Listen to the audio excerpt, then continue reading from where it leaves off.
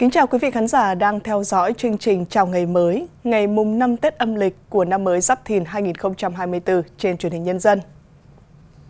Nhân dịp năm mới, xin kính chúc quý vị khán giả thật nhiều sức khỏe, bình an và hạnh phúc. Còn bây giờ, xin mời quý vị theo dõi những nội dung chi tiết của chương trình sáng nay.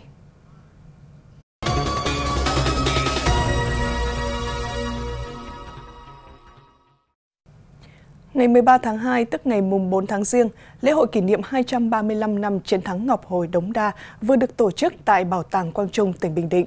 Đây không chỉ là dịp để tưởng nhớ chiến công hiển hách của Hoàng đế Quang Trung Nguyễn Huệ và Nghĩa quân Tây Sơn, mà còn là sự kiện được kỳ vọng sẽ đẩy mạnh tiềm năng du lịch và quảng bá hình ảnh đặc trưng của địa phương đến với bạn bè trong và ngoài nước. Với tinh thần tốc chiến tốc thắng, vào ngày mùng 5 Tết Kỷ Dậu năm 1789, dưới sự chỉ huy thiên tài của Hoàng đế Quang Trung Nguyễn Huệ, nghĩa quân Tây Sơn đã đánh bại 29 vạn quân xâm lược Mãn Thanh, làm nên chiến thắng lịch sử Ngọc Hồi Đống Đa vang danh sử sách. Lễ kỷ niệm chiến thắng Ngọc Hồi Đống Đa được tổ chức vào dịp Tết cổ truyền dân tộc hàng năm là hoạt động hướng về cội nguồn, tôn vinh truyền thống lịch sử của cha ông đã dày công vun đắp, qua đó nhắc nhở thế hệ hôm nay luôn phát huy truyền thống đấu tranh, dựng nước và giữ nước của dân tộc, ra sức thi đua học tập, lao động, xây dựng và bảo vệ Tổ quốc Việt Nam xã hội chủ nghĩa, ngày càng phát triển văn minh, giàu đẹp. Trong dịp này, hàng nghìn du khách đã đổ về Bảo tàng Quang Trung, huyện Tây Sơn, tỉnh Bình Định để tham gia lễ hội, thưởng ngoạn nhiều hoạt động đặc sắc như chương trình nghệ thuật với chủ đề Hào khí Tây Sơn, võ cổ truyền, nghệ thuật hát bài tròi, các trò chơi dân gian.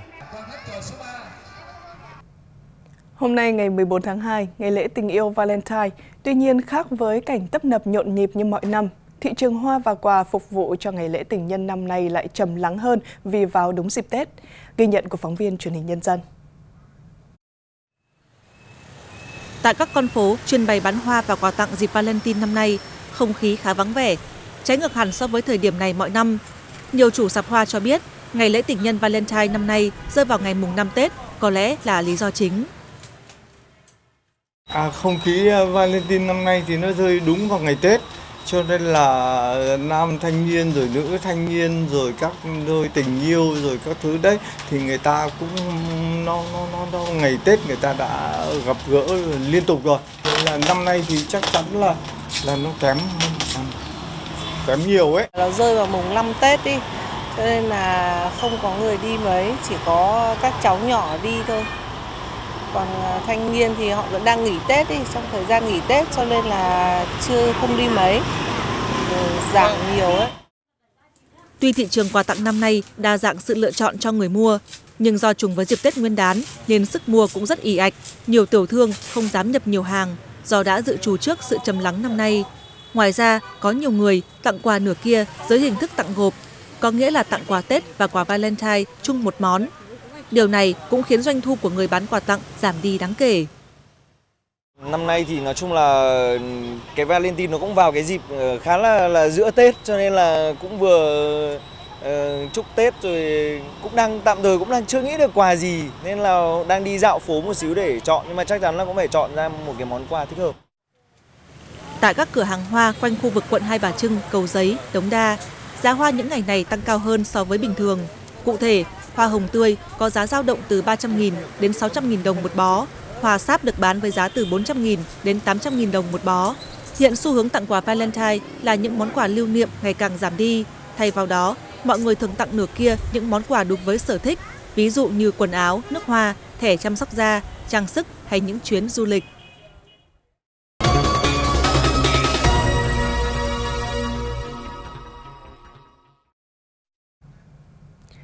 Kinh tế toàn cầu dần hồi phục, đơn hàng xuất khẩu đang được cải thiện kể từ quý 4 năm 2023 là những yếu tố để các doanh nghiệp tin tưởng bức tranh thị trường xuất khẩu khởi sắc hơn trong năm 2024.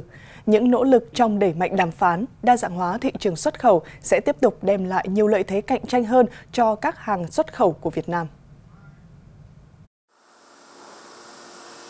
Năm 2024, Hiệp hội Thép Việt Nam dự kiến tiêu thụ tăng 6,4%, đạt gần 21,6 triệu tấn, trong đó xuất khẩu thép thành phẩm và bán thành phẩm sẽ tăng trưởng ở mức tăng 12% lên gần 13 triệu tấn.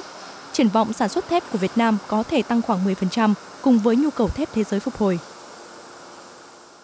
Hy vọng rằng năm 2024 thì à, với những cái chương trình đẩy mạnh tháo gỡ khó khăn của chính phủ, chính sách về bất động sản, thị trường tài chính và à, giảm hỗ trợ lãi suất và đồng thời đẩy mạnh các dự án đầu tư công thì à, cái nhu cầu thép sẽ có, dự báo sẽ được à, có cái tăng trưởng. Theo dự báo chúng tôi là năm 2024 thì ngành thép có thể tăng trưởng khoảng 10%. Chúng tôi dự báo là xuất khẩu của chúng ta trong năm 2024 này là có phục hồi nhẹ hơn một chút so với năm 2023 bởi vì sao? Lạm phát bắt đầu có xu hướng hạ. Lãi suất thì tạm dừng không tăng nữa. Đấy là những cái tín hiệu dù sao cũng là cũng là khả quan hơn là trong năm 2023. Và do đó thì cái kinh tế thế giới sẽ có dấu hiệu đi lên nhưng không cao. Hiện xuất khẩu hàng hóa tới các thị trường xuất khẩu lớn đều phục hồi tốt trong những tháng đầu năm 2024. Mỹ tiếp tục là thị trường xuất khẩu lớn nhất của Việt Nam trong tháng 1 năm 2024 với kim ngạch ước đạt 9,6 tỷ đô la Mỹ, tăng 5,5% so với tháng 12 năm 2023 và tăng tới 55,8% so với cùng kỳ năm 2023. Ngoài ra, kim ngạch xuất khẩu tới các thị trường chính khác ước tính cũng tăng mạnh so với cùng kỳ năm ngoái, như Trung Quốc tăng 57,8%, ước đạt 6,1 tỷ đô la Mỹ, châu Âu EU tăng 17,9%, ước đạt 3,9 tỷ đô la Mỹ, ASEAN tăng 38,5%, ước đạt 3,4 tỷ đô la Mỹ, Nhật Bản ước tăng 39,6%, Hàn Quốc ước tăng 22,4%. Trong những ngày đầu năm mới Giáp Thìn 2024, rất đông du khách đến với Văn Miếu Quốc Tử Giám để vãn cảnh và xin chữ đầu năm. Xin chữ đầu năm là một nét đẹp văn hóa có từ rất lâu đời. Nét chữ như phượng múa rồng bay thể hiện những ước vọng của một ngày xuân, mong muốn một năm thật nhiều may mắn. Thưa quý vị khán giả, xin chữ đầu năm là một phong tục truyền thống, nét đẹp văn hóa, thể hiện truyền thống hiếu học của dân tộc Việt Nam. Và trong những ngày này, tại Văn Miếu Quốc Tử Giám, rất nhiều ông đồ đã chuẩn bị sẵn xếp giấy, bút lông, nghiêng mực để sẵn sàng cho những chữ may mắn đầu năm. Ngày xuân đối với người Việt là ngày khởi đầu của năm mới, cũng là khởi đầu của mọi sự mới. Mỗi độ xuân về, rất nhiều người đã có mặt từ sớm ở Văn Miếu Quốc Tử Giám để vãn cảnh, thắp hương, cầu tài, cầu đỗ đạt, cầu công danh, sự nghiệp. Và một việc làm không thể thiếu là xin chữ đầu năm. Hôm nay thì tôi đến Văn Miếu với mục đích là để cầu an cũng như là xin chữ đầu năm cũng là một trong những cái phong tục tập quán rất là tốt đẹp của Việt Nam. Và hôm nay thì tôi xin chữ Đỗ Đạt. À, mặc dù đang là sinh viên năm 2 rồi nhưng mà tôi vẫn mong muốn có những cái sự may mắn, bình yên cũng như là đạt được những cái kết quả tốt cho học tập. Hôm nay em xin chữ Thuận ạ. Mong muốn là trong năm thì sẽ công việc của em sẽ thuận buồm xuôi gió và uh, đạt được nhiều mình mong muốn. Tùy theo nguyện vọng, mỗi người sẽ xin một con chữ khác nhau, nhưng tất cả đều cầu mong một năm mới an lành, may mắn, thành công, đỗ đạt và con cháu đầy nhà. Như mọi năm thì tôi cũng đều đến đây, hàng năm chắc cũng phải là từ bé đến giờ cũng phải hơn hai chục năm. Người Việt Nam mình là một văn hóa rất là hiếu học và khi có thể xin chữ này chúng ta là có thể thấy cái quyết tâm của chúng ta trong việc học hành, cái mong muốn của chúng ta trong một năm mới, một năm mới có thể học hành tốt hơn, tốt đẹp hơn. Thì năm nay thì tôi xin chữ thành trong sự thành công, thành đạt và đạt nhiều nhiều thành quả mới trong năm mới cũng như việc học cũng như việc làm việc của tôi. Nét đẹp xin chữ đầu năm đã được duy trì từ đời này sang đời khác. Mỗi nét chữ cho đi, người nhận gửi gắm nhiều ước vọng, còn với những ông đồ, người cho chữ thì mong muốn giữ mãi nét đẹp, phong tục xưa, Tết xưa trong nhịp sống hiện đại. Thưa quý vị, Hòa trong không khí Xuân sắp Thìn 2024 của cả nước, những ngày cận kề lễ hội tại đình làng Triều Khúc, việc chuẩn bị mở hội đều phải có lễ cúng thành hoàng để được xin phép. Và để chuẩn bị cho lễ cúng thì không thể không kể đến lễ bao sái thánh tích, một trong những tập tục ý nghĩa quan trọng của người dân làng Triều Khúc.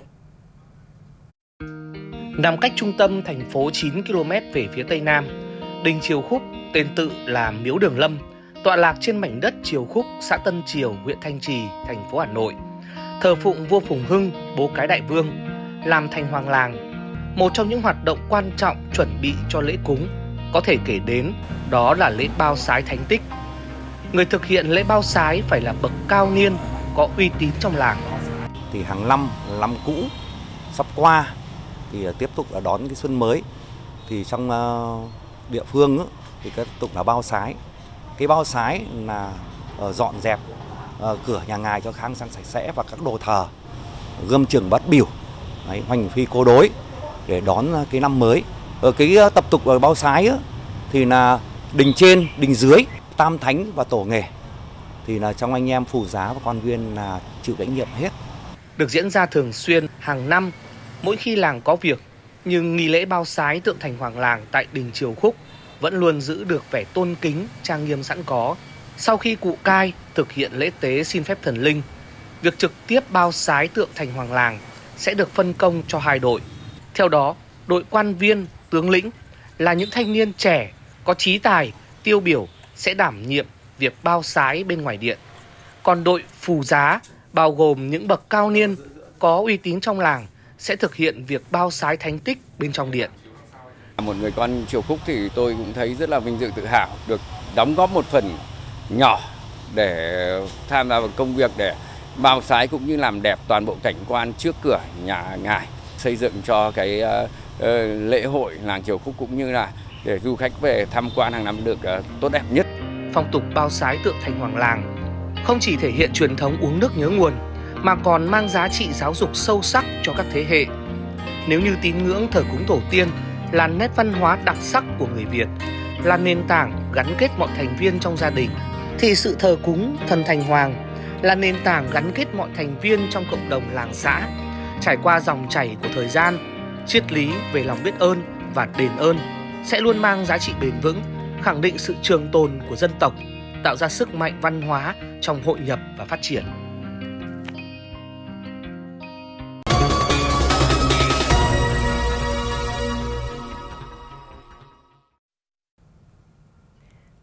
Bây giờ là những thông tin đáng chú ý trên các báo.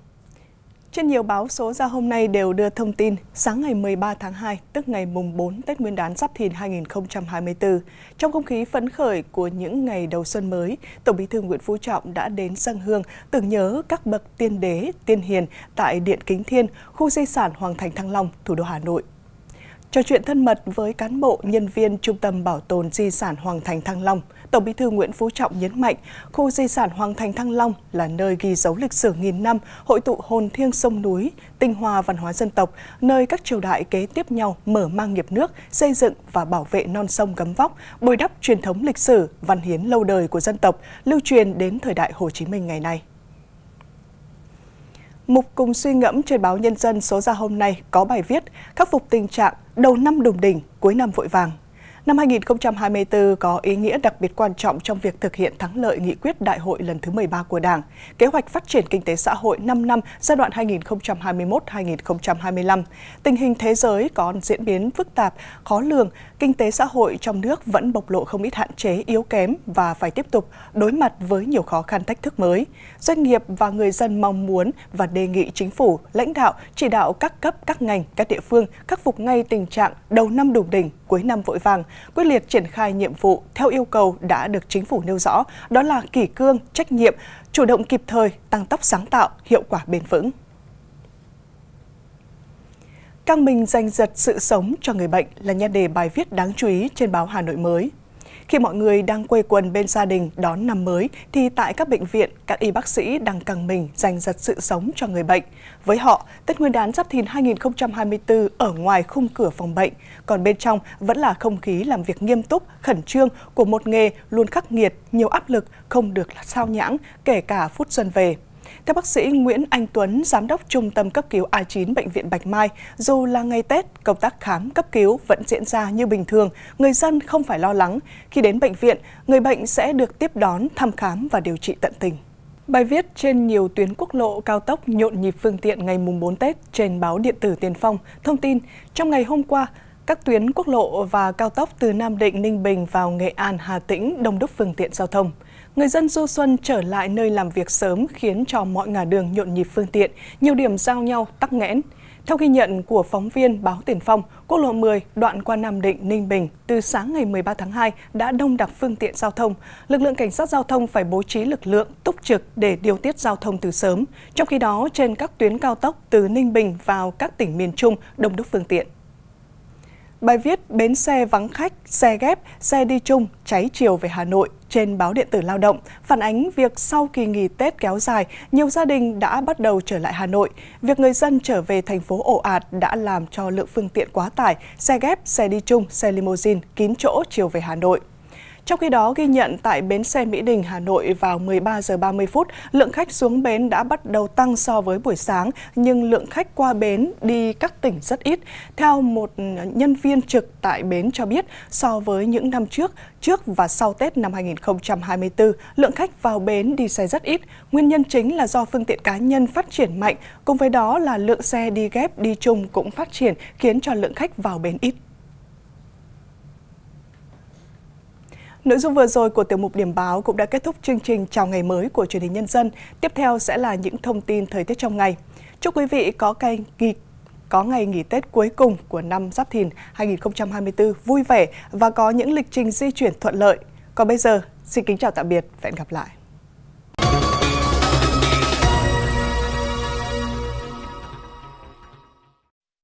Quý vị đang theo dõi bản tin dự báo thời tiết của truyền hình nhân dân. Thưa quý vị, hôm nay sẽ là ngày nghỉ cuối cùng của dịp nghỉ Tết. Miền Bắc thời tiết lúc này vẫn đang khá dễ chịu, cả miền Bắc có sương mù nhẹ. Trong đó tại khu vực phía Đông Bắc Bộ thì có mây nhiều, còn ở tại khu vực phía Tây Bắc Bộ thì đã có nắng. Nên nhiệt ngoài trời ở hầu khắp khu vực vẫn phổ biến ở dưới mức 20 độ nên trời vẫn còn rét. Dự báo tình trạng mây nhiều ở khu vực phía Đông Bắc Bộ sẽ chấm dứt sau 9 giờ sáng và trời sẽ chuyển nắng trở lại. Nền nhiệt cao nhất trong ngày hôm nay sẽ tăng lên ở mức 24 tới 25 độ. Độ ẩm trong không khí tăng lên trên 65% nên cảm giác hanh khô sẽ không còn.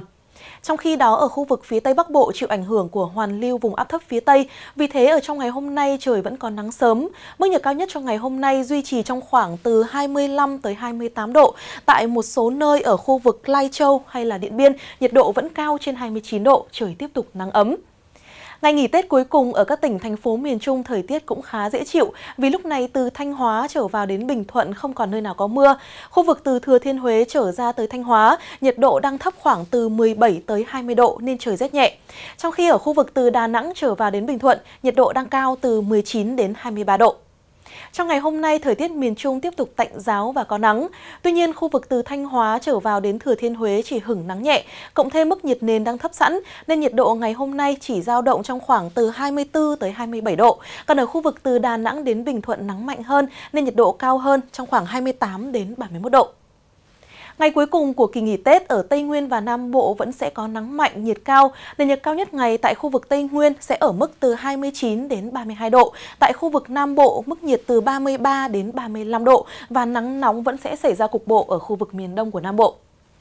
Trên biển, khối khí lạnh yếu đi, trường gió Đông Bắc trên các vùng biển cũng giảm cấp theo.